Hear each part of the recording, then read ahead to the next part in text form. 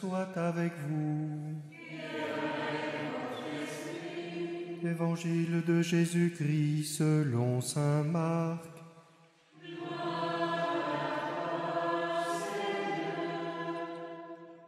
Aussitôt après avoir nourri les cinq mille hommes, Jésus obligea ses disciples à monter dans la barque et à le précéder sur l'autre rive, vers Bethsaïde, pendant que lui-même renvoyait la foule. Quand il les eut congédiés, il s'en alla sur la montagne pour prier.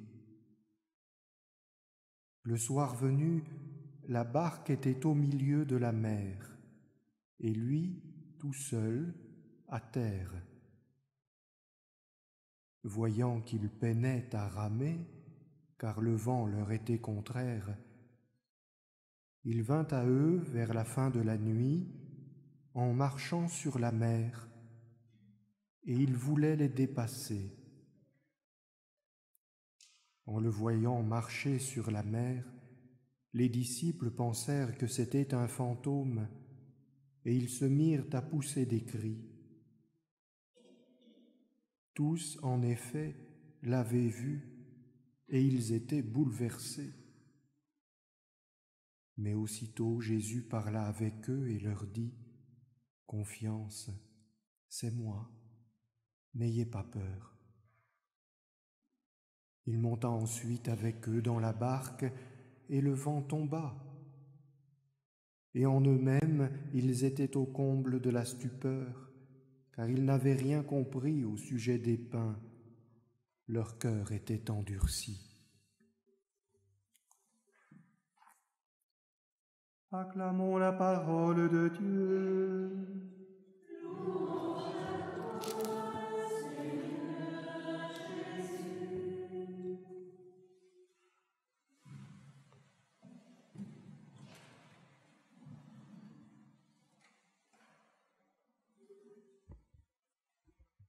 Le mercredi, frères et sœurs, vous le savez, vous qui êtes ici, vous qui nous rejoignez par Internet dans cette Église, le mercredi est le jour où l'Église nous invite à célébrer une mémoire particulière pour notre Père Saint Joseph. Et dans cette année que le Saint-Père a voulu que l'Église lui consacre, ce sera pour nous l'occasion d'approfondir certains aspects de son mystère et de sa personne, humblement, pas à pas, dans l'obéissance à la liturgie. Il faut, je crois, pour rentrer dans cette démarche, euh, accueillir tout son sérieux. Parce que sinon, euh, il est tellement facile de réduire, j'ai envie de dire, de reléguer Saint Joseph à la dévotion, qu'on pourrait voir dans notre propos certaines facilités. Oh, bah, on va prendre l'évangile, et puis on va mettre un peu de sauce de Saint Joseph, et puis ça ira bien.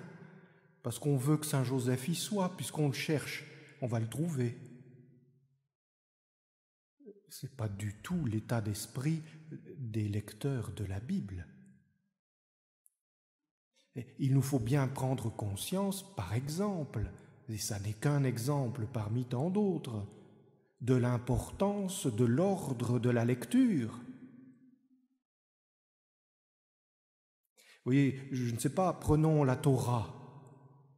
De tout à la fin, dans le Deutéronome, vous vous souvenez le tourment de Moïse il donne la loi à son peuple.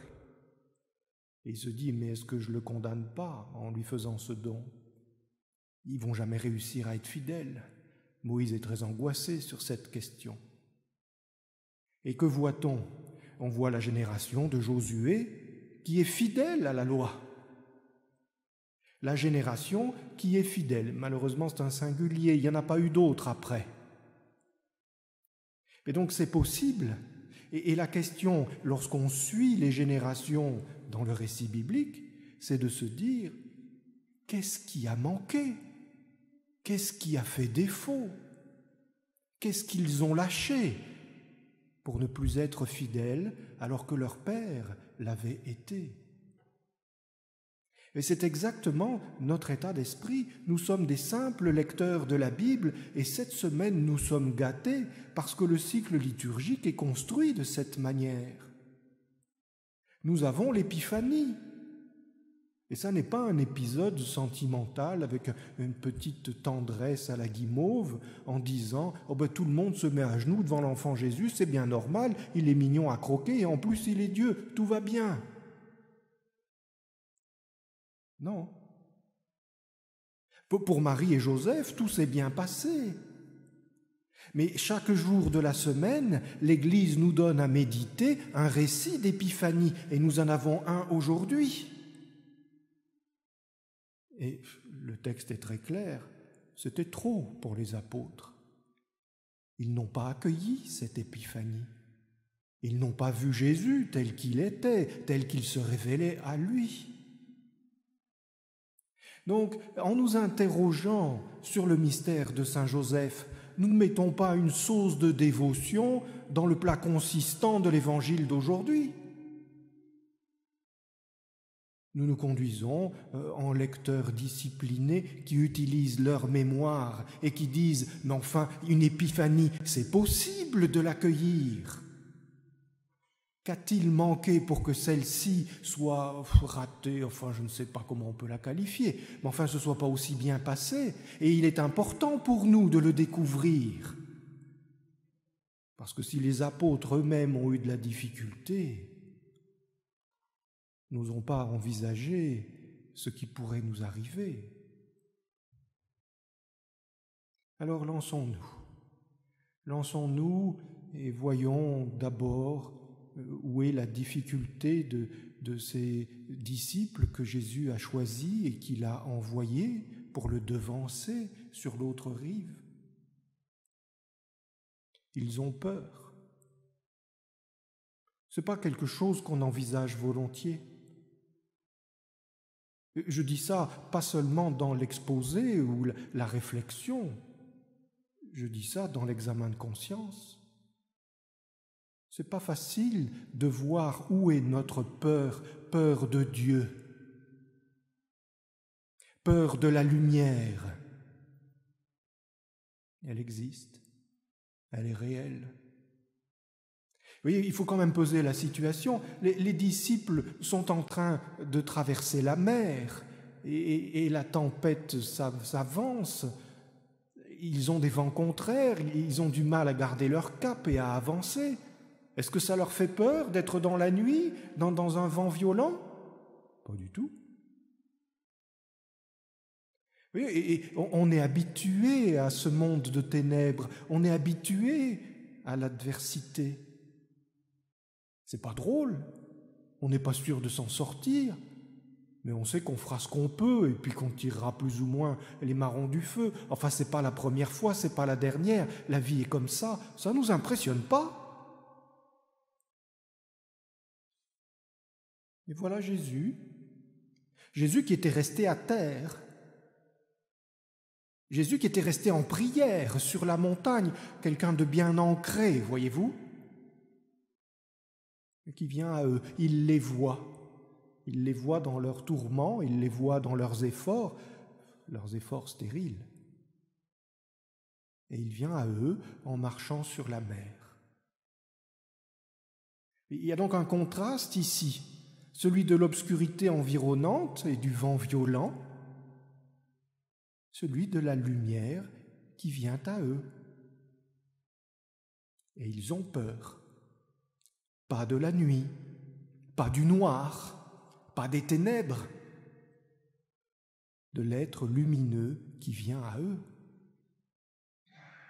Et ils font un choix qui est un choix de mort, une interprétation instantanée pour nous qui côtoyons la mort et qui négocions avec elle chaque jour, c'est un fantôme.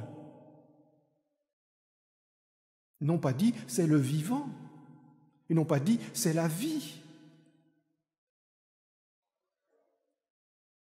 Il y a donc à prendre au sérieux notre peur de la lumière. peur est essentiellement présente parce qu'elle remet en cause ce que nous connaissons et malheureusement ce à quoi nous sommes attachés. Si c'est vraiment la vie qui est manifestée, alors tout dans notre monde va changer, tout dans notre quotidien doit changer. Voilà qui est, de quelque manière, effrayant. Et pourtant, quand on y pense spontanément et qu'on se tourne avec affection vers le foyer de Nazareth, on se dit, eux, ils n'étaient pas comme nous, quelle chance d'être dans la lumière. J'aimerais bien y être. Mais quand nous disons ça, nous ne voyons pas suffisamment clairement que ce qui nous fait envie, ça n'est pas la proximité avec Jésus, mais l'assurance que nous imaginons qu'elle accorde automatiquement. Bah oui, quand Jésus est dans la maison, qu'est-ce que vous voulez qu'il arrive? Quand Dieu est là et qu'on peut lui parler, qu'on voit bien, il, tourne ses petits yeux vers nous comme ça, on voit bien qu'il nous écoute. Qu'est-ce qui peut bien arriver? Les anges ne sont-ils pas là pour le protéger? Nous cherchons une protection, nous cherchons une assurance, des garanties. Et nous imaginons que euh, Marie et Joseph les avaient obtenues.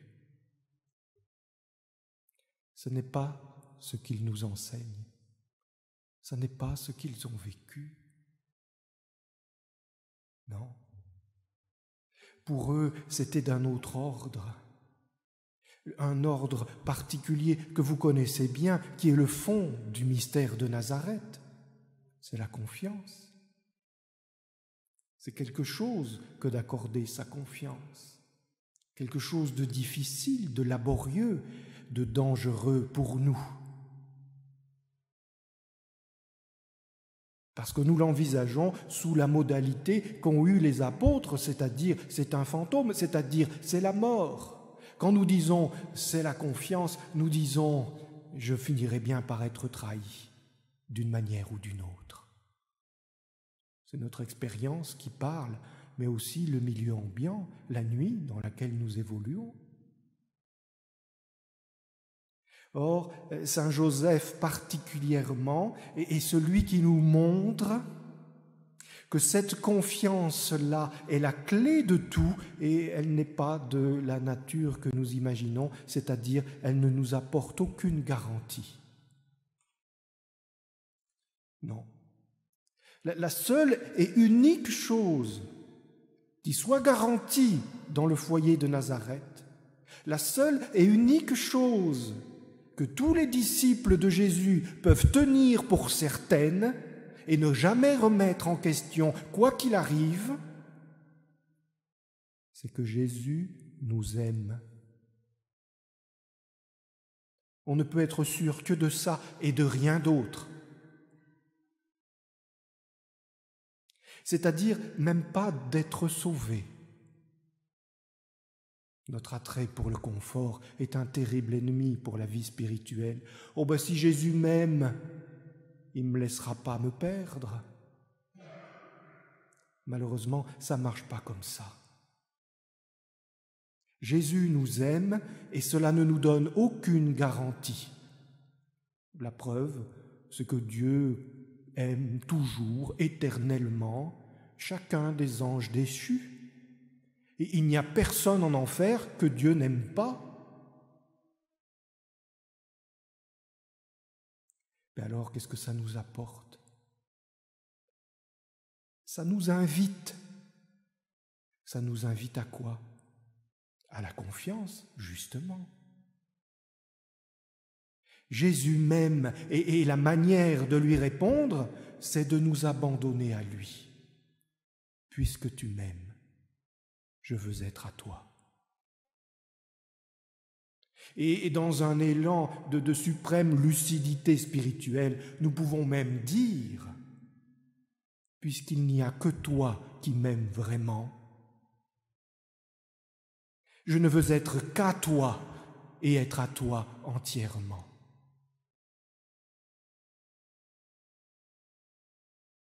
Et à partir de ce moment-là, nous le voyons spécialement dans la vie de Saint Joseph, penser particulièrement à son mariage. À partir de ce moment-là, tout change. On prend la mesure de ce que nous donne la confiance placée en Dieu, non pas une sécurité, non pas un confort, mais l'acceptation que chacun de nos actes, chacun de nos pensées, chacun de nos battements de cœur est Dieu pour auteur. C'est quand même magnifique et vertigineux à la fois de se rendre compte que, euh, je dis, ne gardons que l'exemple du Saint Mariage, tout dans la vie de Saint Joseph est voulu, est décidé, est opéré par Dieu.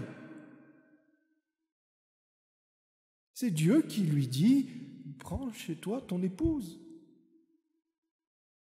C'est une initiative divine, c'est dans l'obéissance à Dieu qu'il le fait, et c'est par la grâce de Dieu qu'il l'opère.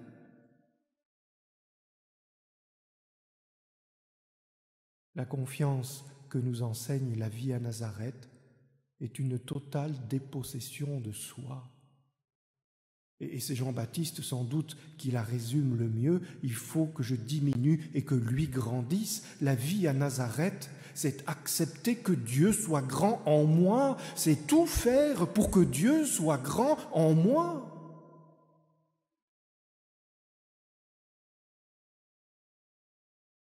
Quel chemin de conversion pour nous.